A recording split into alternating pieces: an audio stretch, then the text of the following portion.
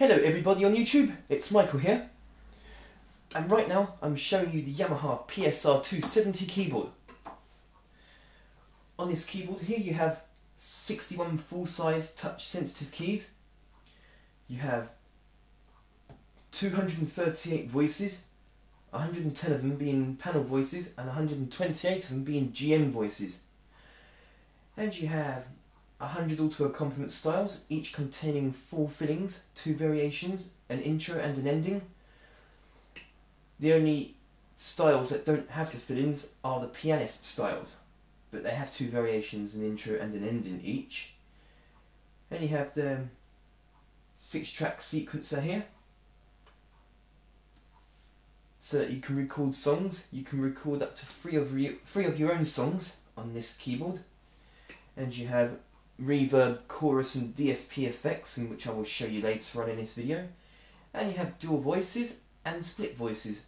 So the dual voices, I'll show you that now, you can layer up to another voice. So say piano and strings for instance.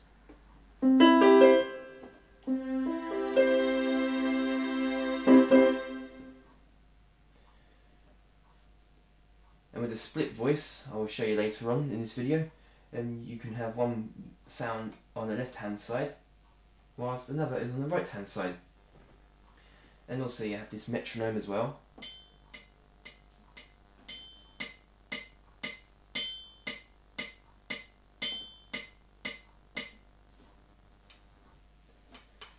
and many more features that I'll show you in this video. First of all, I just want to show the example of the um, track sequencer that you can record up to three of your songs. I'll show you that now. So we record, record track number one.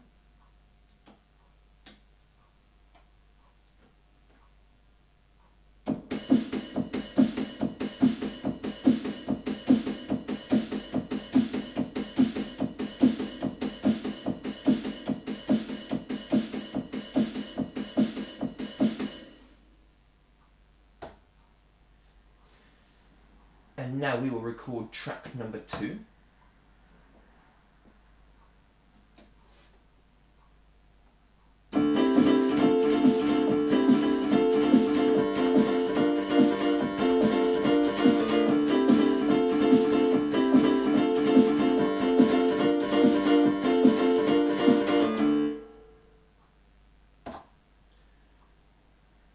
And then that's done, we can record another track We'll go for track number three.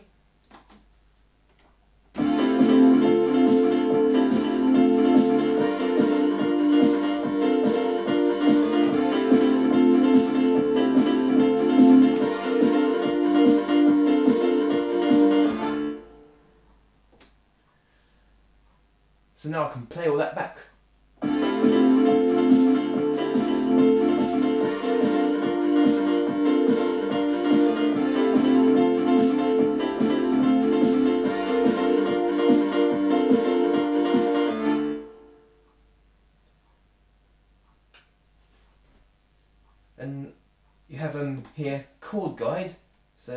Put on there say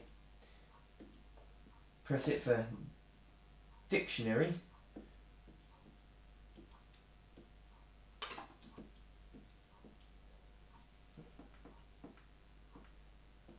That's it. It's on the dictionary so that you press one of these keys and on the LCD screen here you'll get a chord in which you have to match. So I've got the C chord here, for instance. But it doesn't make a ding-dong sound, however, if you get the correct chord like it does on my PSR GX76, which I showed before. And you have um, Smart.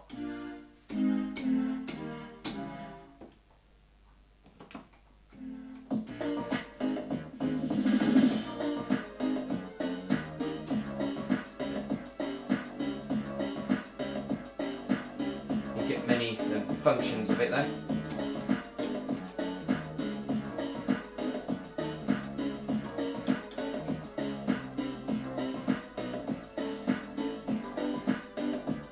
And you have EZ chord guide, which you only have to press one key and it plays all sorts of random chords like this.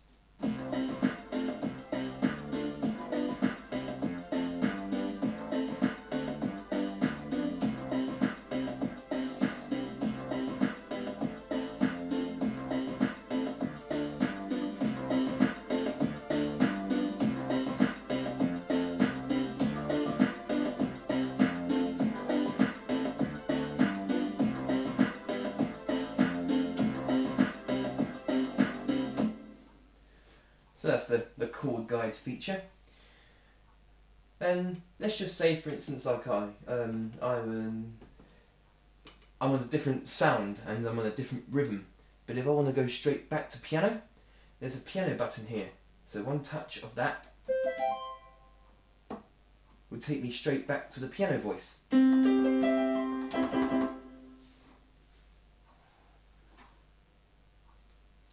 Also there's a button here so that you can turn the velocity on or off.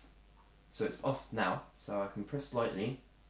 And I don't get any touch sensitivity until I turn it on.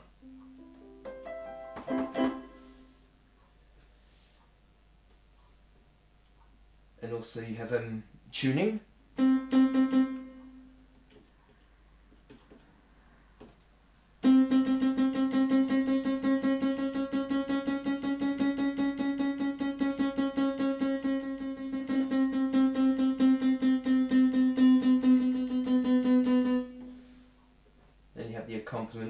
volume and metronome volume. And you can transpose the keyboard as well.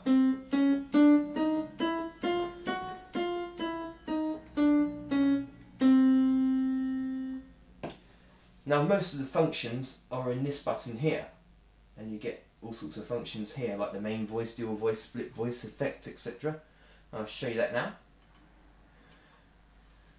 And also I forgot to tell you in the beginning of the video, each rhythm has here two one-touch settings.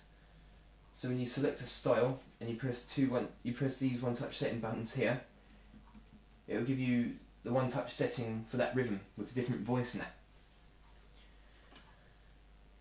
So I thought I'd tell you that now.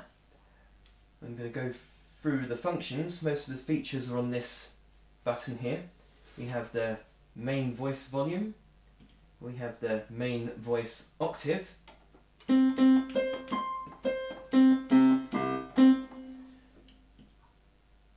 Main voice pan pot, reverb and chorus and DSP level. And now we have the dual voice volume, dual voice octave. So if I turn on the dual voice, I can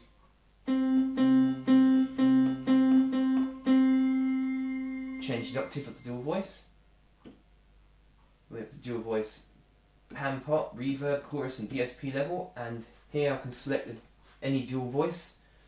Just like the main voices the 238 sounds also occurs to the dual voice and split voice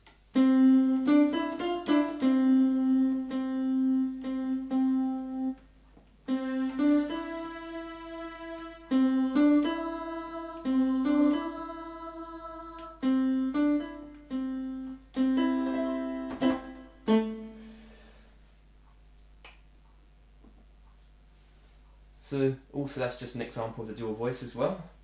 That two voices can be layered at the same time. And you have um,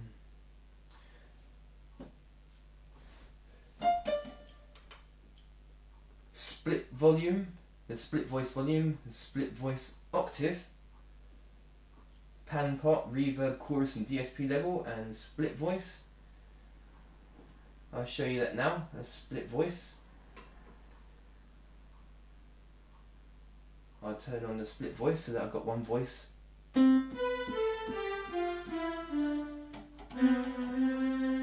On the left hand side of the keyboard, I'll go through some examples. We go split voice. So here's the right hand and here's the left hand.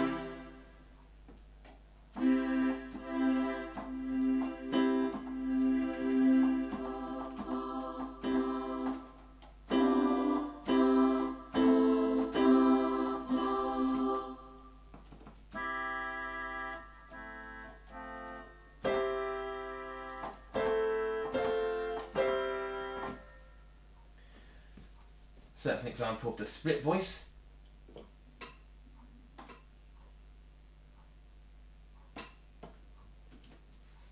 And you have other functions like split points so that you can choose where you want your accompaniment style to start.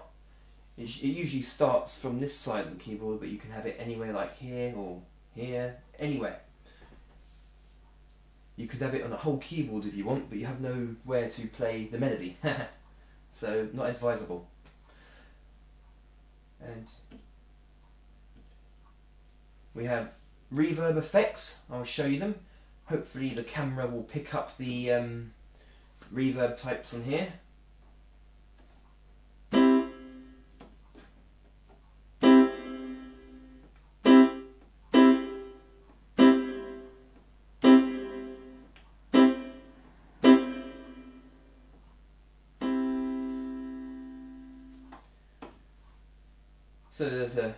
Reverb types. And now that I showed you the reverb types, I better turn off the reverb so that you can hear the DSP effects once I show you them. And we have the chorus effects as well. We'll turn on chorus so that I can show you the chorus types.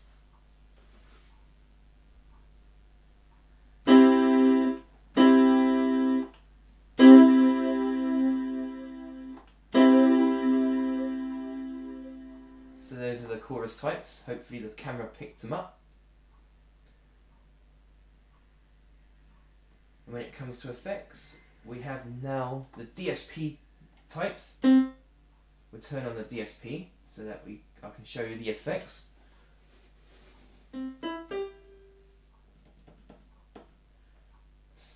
The first eight DSP effects are the same as reverb.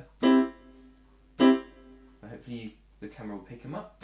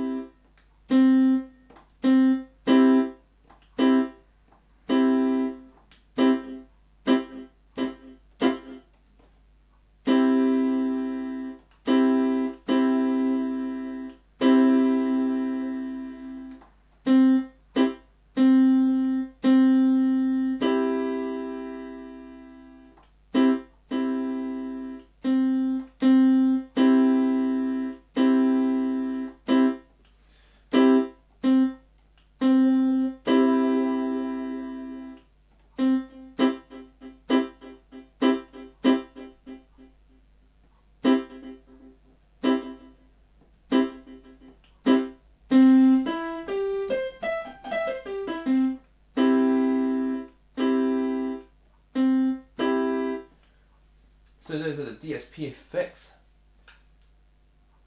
I know not all of them could be picked up from the camera, but those are the DSP effects. And we have harmony effects as well. Um, turn on the harmony and have harmony type. Some of the types need to have the auto accompaniment style turned on. So you get the harmony like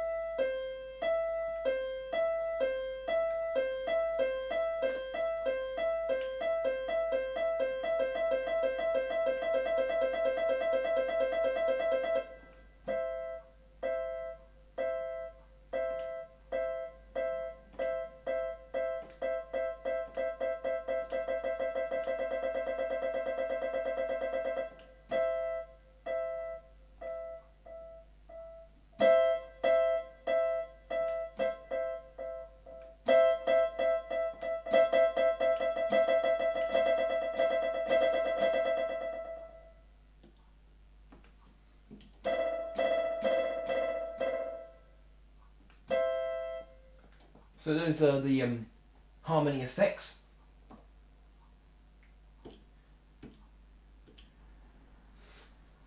Then we have a function for the user bank.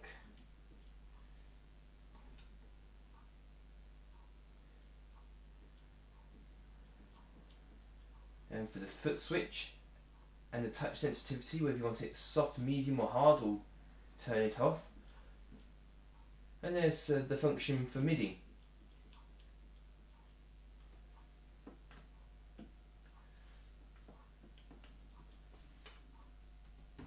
So that's just about all the features of the PSR 270. I will now end this video by showing you some of the sounds. So this video is going to be part one of three, showing off the 238 voices that are on this keyboard. Here we go.